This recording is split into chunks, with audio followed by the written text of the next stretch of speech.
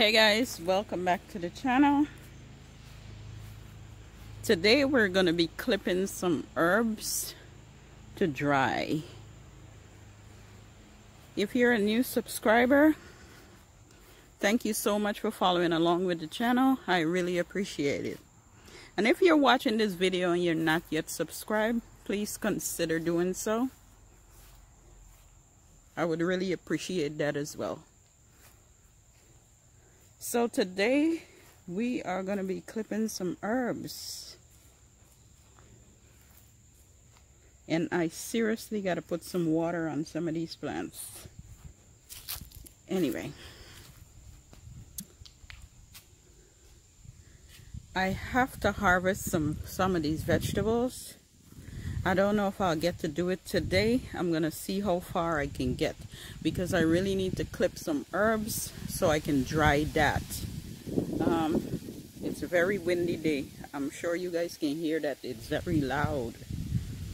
But what I'm going to start with first is the herbs. Oh wow, I have a really big hole in the one of my garden beds. Which means I don't know what animal, but somebody has been digging. Look at that. And they're digging around my flowers. See, I need to, this is arugula. I need to, I need to harvest some of this. Because I want to be able to utilize all my vegetables. And that's why I'm going to harvest or clip some of the herbs today. Because I need to get it dry. During Thanksgiving and Christmas, you use more herbs than any other time because most of us are planning um, to cook for the holidays and so you use a lot of herbs. And I want to make sure I have some dry that I can use out of my own garden because these herbs are really expensive very very expensive. So I'm gonna start I'm gonna put down this camera and just start clipping then I'm going to show you what I harvest and where I'm going to possibly dry it. We'll see. But let's get started on that. So what I should have mentioned is that in a few spaces in my garden, I have a lot of herbs. So I have herbs here. I have thyme and um, what's this? Uh, not sage. Um, oh, the name is not coming to mind right now. Um, but I do have a lot over here. Then I have some over here. we got some more thyme over here. I have a lot of sage over there.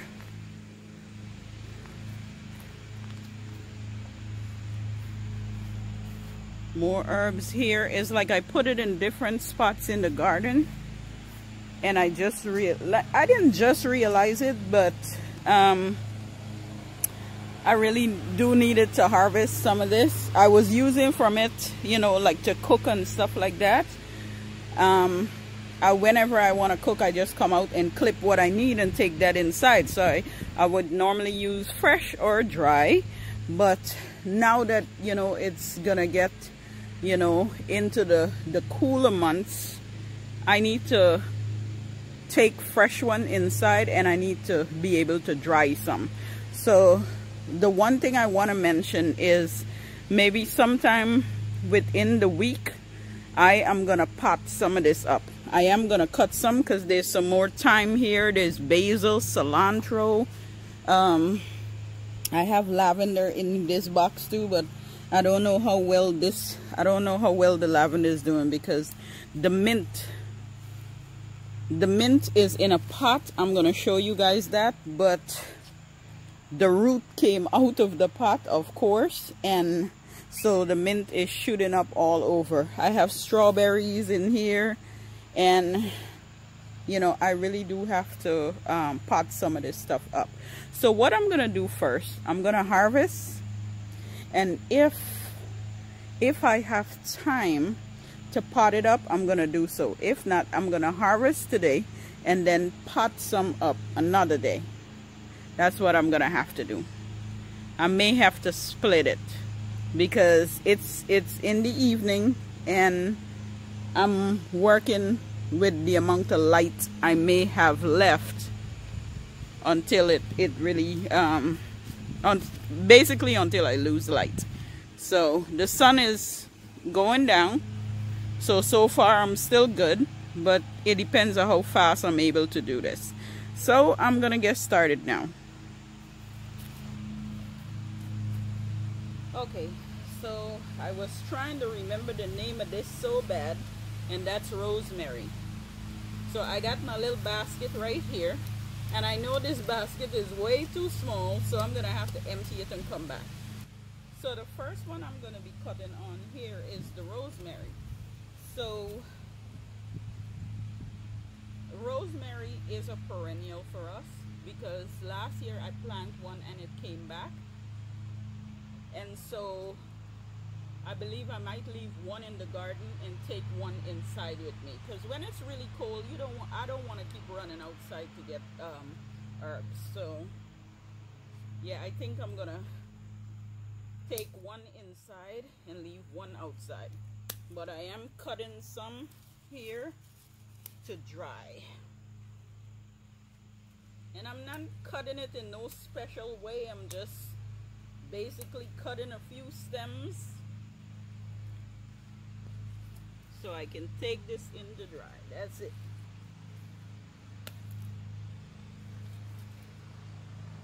Because it seems like no matter how I cut it it's still gonna come back so.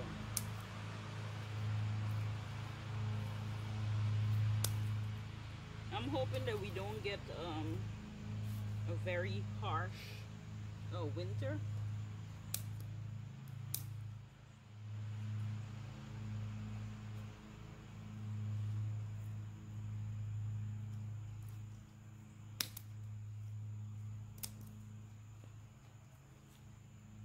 I am using my kitchen shears to cut this so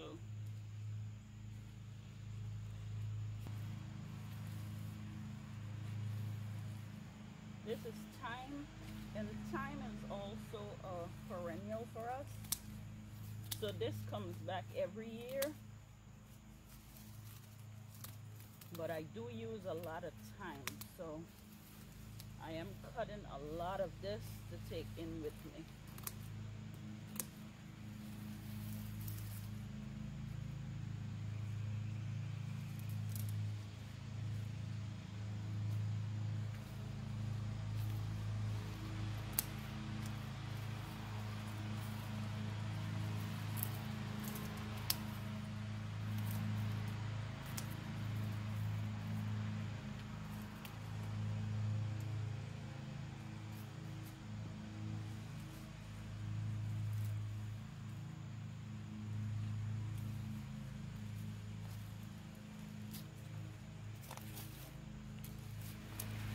Okay, basil is not a perennial.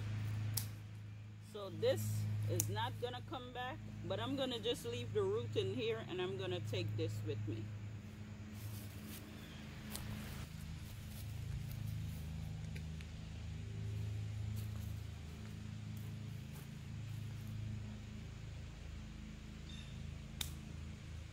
The sage, I don't know if sage is a perennial. I never looked that one up.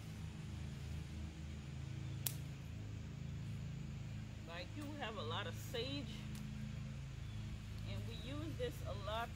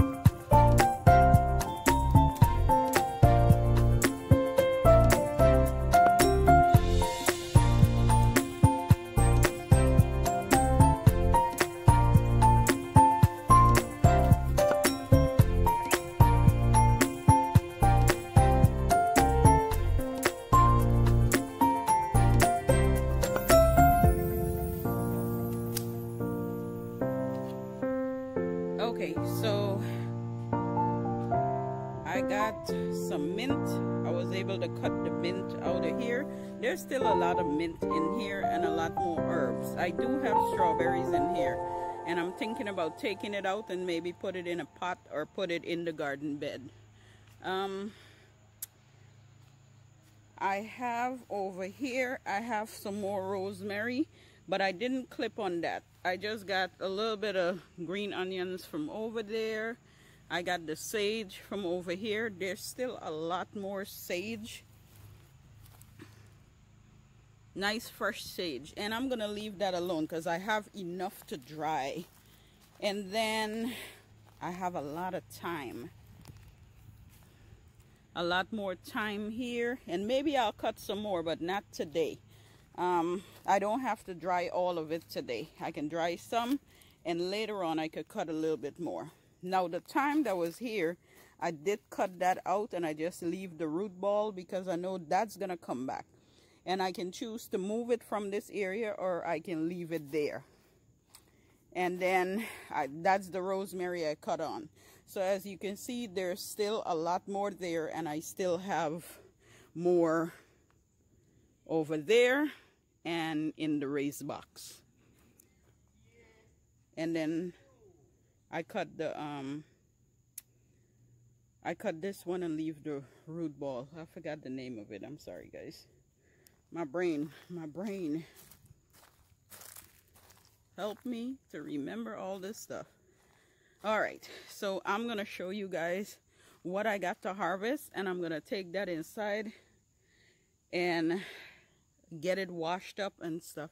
And I, I can possibly show you guys how I'm um, going to do it. But right now, I'm going to show you what I harvest because the mosquitoes is trying to eat me and I'm out of the spray. The, um, I forgot, off. That's the spray. Yeah I normally spray it when I come out here but my can is empty so I need to get some more of that.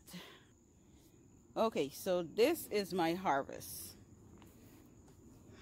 Now don't judge. I didn't feel like going back inside to get a container or anything or basket or anything so I just put it on on the bag that's mint and I'm gonna wash that up and um and let that dry I have a lot of thyme, sage, rosemary, and cilantro.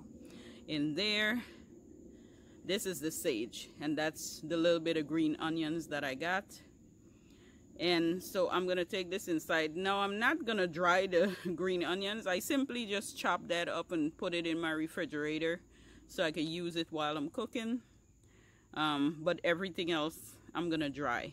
Now I do have some of this dry already in jars in, in my house, in my kitchen. And I, I currently utilize that. So when I'm on, when the batch is going closer to finish, that's when I dry some more. Now the batch is not close to finish, but I am going to dry this because we're losing um, the warm weather and it's going into the cooler months and so stuff like this, the ones that are not able to hold up to the temperature, it's basically to go to waste. So at this point, I don't need anything to go to waste. If I struggle to plant them, they need to be eaten one way or the other. If it if it's not by me, it's by friends or family or somebody got to utilize it. Okay? So I'm going to take this inside now and get it nicely washed up. Okay, so this is how I do this. Now I am in my basement kitchen, so there's a separate kitchen from my upstairs, so I can leave this on the counter. So what I'm gonna do, I have this container here with water. I put a little bit of vinegar. The reason for that is sometimes bugs hold in between your herbs. And honey, I do not want to dry any bugs within my herbs. Okay, and then in the vinegar water, I just rest this for a minute. Just for a few minutes. And I'm going to do each one of them just like this. Just so the vinegar kind of loosen up whatever. If it's dirt or anything, it's gonna loosen it up. Put this over here. Now, what I'm gonna do is, in order to dry this, just wipe this off because I had my basket here, so I'm just wiping it off. Now, what I'm gonna do is, I'm gonna use my kitchen towels, the white part of it, and I'm gonna just spread it here. So as I wash my herbs, this right here, I'm gonna turn it this way. Normally I have a small batch, so I do it upstairs and just bring it down here. But I wanted to show you guys how I do this. So basically now I just, now that this been soaking just for a minute or two in this water, it kind of loosen up anything that is in the leaves. And then I pull out the dead leaves. See? That's a little bug that was on there. See? And that's what happens. When you have herbs or any vegetables, it's good to wash it off really good in vinegar water. And then what I'm going to do is just run run it through under the pipe. Or you can soak it in another container. I'm just running it under this water again. So, oops, so I can get the vinegar out of it. I don't want it to dry with the vinegar. And then I'm going to shake it out and just put it on this towel.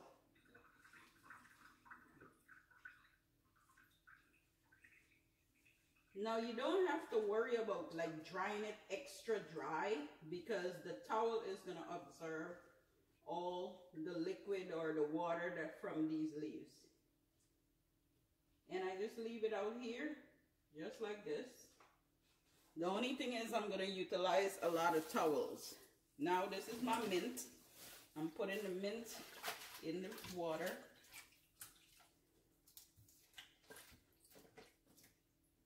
And I'm going to do the same thing for everything. Just put it in the vinegar water. Everybody does theirs differently, and that's okay.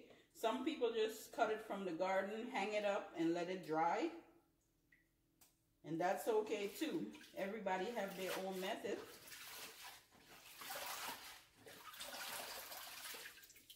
I just do mine's a little different.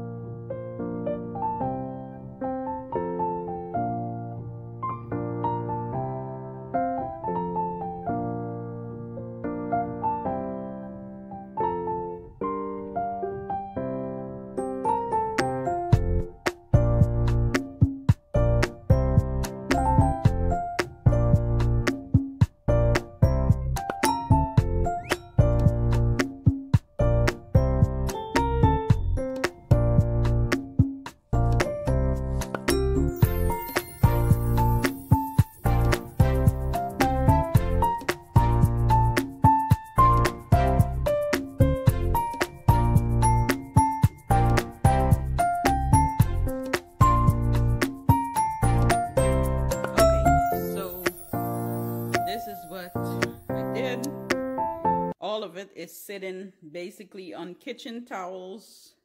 Um, and what's going to happen here it's going to drain on that towel basically and it's also going to dry on that towel now what i'm going to do is put paper towel on the top because then i just want to cover it up because it's wet, I don't want any dust or anything to fall and dry with the herbs and I'm crushing it up and putting it in a jar.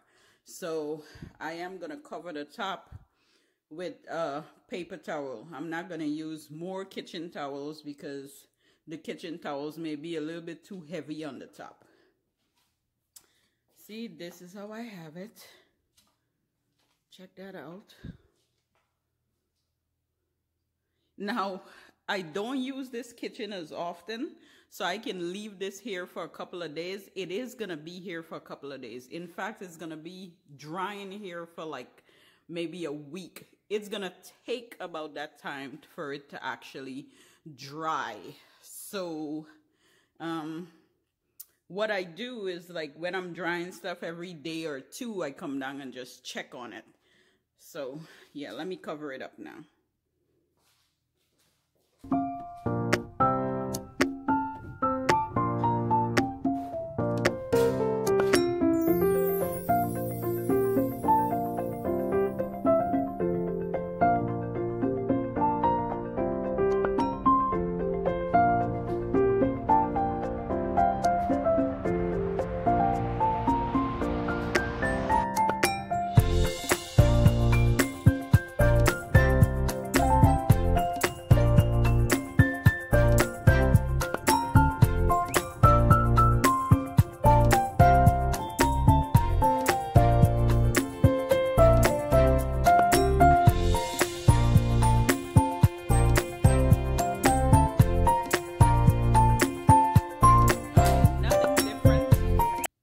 The paper towel on the top and this is how it's left for several days.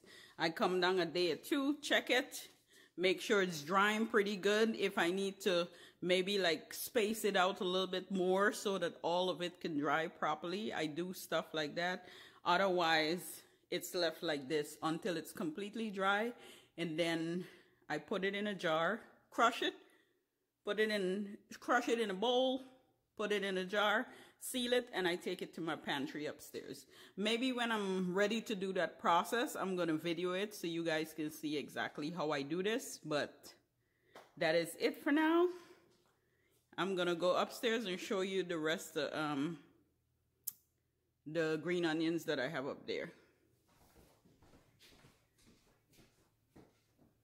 Okay guys, so this is the green onion that I left um, that I have left over that I brought from outside. And this I'm gonna basically just chop up and put it in a jar and put it in my refrigerator. So whenever I'm cooking, instead of standing there and just chopping it up, it's already gonna be cut up for me. Now what I do be, when I cut uh, on green onions, I keep the root of it. So this part of it, I go back outside and I push it back into the, um, into the soil. So this continues to produce for me, whether it's fall, winter, spring, summer, it's, it's always basically out there or I keep it in a pot inside of the house. So I cont continuously get fresh green onions. Now, for the, the thyme and the mint and stuff that I'm drying downstairs, um, I do have a jar in my pantry that I have a label and everything. But this is the leftover. And my husband do use this a lot. This is mint that I dry and I just put it in a container. Um, but this goes pretty fast because he does use this up a lot. I drink a lot of mint tea too and we put it in like lemonade and stuff like that. All the necessary. Now this is thyme. Let's see. Yeah, this is thyme and this is dry as well. So anything that I have left over, I put it in containers like these but I do have a jar that I have nicely labeled and stuff like that in my pantry. I put them in mason jars. So, um, yeah, that's how I do it. Anyway, I just wanted to show you guys what I normally do with this stuff. Um, I hope you guys enjoy this video. Now, I do see a lot of people that are watching the videos, or a fairly amount of people that do watch the videos, but you're not subscribing. So please consider subscribing to the channel. It does really help the channel, and it gives us, the um, people that are creating these videos, more encouragement to do so. So if you do like the videos, please consider subscribing. Anyway, I hope you guys enjoy this. this was a different side of me going outside and showing you exactly what I do because now I'm in my kitchen. But I really do hope you enjoy this. I hope you get a chance to do something amazing, something beautiful, and I will catch you all in my next video. Bye.